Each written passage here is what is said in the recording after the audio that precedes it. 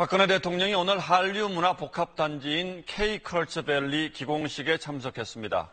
박 대통령은 막대한 부가가치를 창출하고 국가 브랜드까지 높이는 최고의 효자 상품이 방송 드라마와 같은 문화 콘텐츠라며 문화 산업화와 창조적 콘텐츠 생산을 위해 정부도 적극 지원하겠다고 밝혔습니다. 그